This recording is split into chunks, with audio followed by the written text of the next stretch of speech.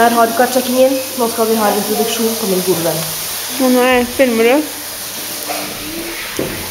Frokost. Si hva du heter, da. Å ja. Hæ? Å ja. Jeg heter Aurora. Mm. Jeg forsov meg litt i dag. Igjen. Så jeg spiser frokost nå. Nam. Koser du deg veldig masse? Hva gjør vi nå? Nå skal vi bake. Hva da? Mm. Peanøttkaker og husmorskaker. Jeg vet ikke hva det betyr, men det høres godt ut. Vi har ny lærer i dag.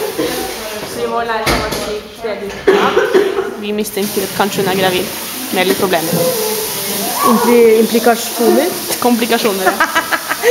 I dette hjørnet her vasker folk hendene for å gjøre seg klar for dagen. Siden vi må ikke gjøre folk syke og ekle. Det er Bjørn Ove.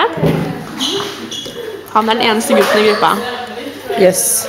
Han har litt kokkeutdanning fra før av. Litt kokkeutdanning fra før av. Der kom det en andehånd.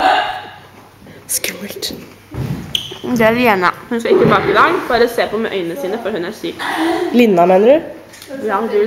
Jeg blandet navnet deres, jeg. Liena, det er det. Lena, tell me about yourself. Jij aardom. what did you say? Yeah, aardom. it's not true. When I released, what was name? Or something. Haruka, give me new words. I think it's not very good.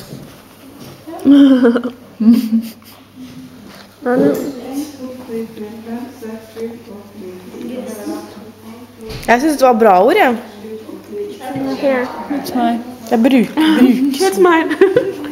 Hva heter det for noe? Bru, brukelige ord? Brukende?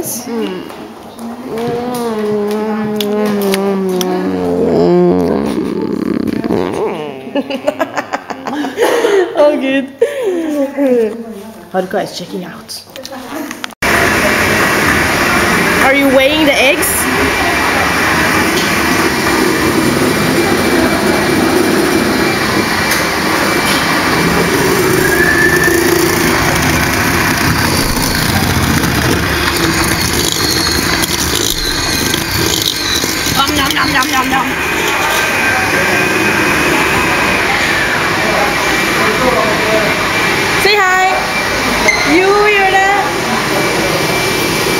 Ja, dat dubbelt hij.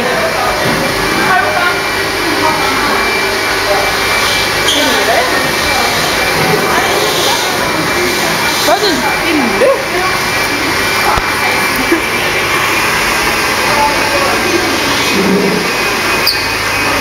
What's that?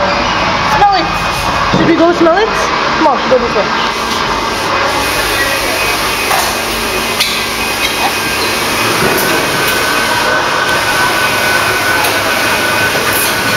Take this. This. How much? One teaspoon. If you smell this, you will not smell anything anymore. It's so strong. Er du ferdig? Don't smell it, it's dangerous. One one tea. One tasha? Yeah, one tasha. I'm the best.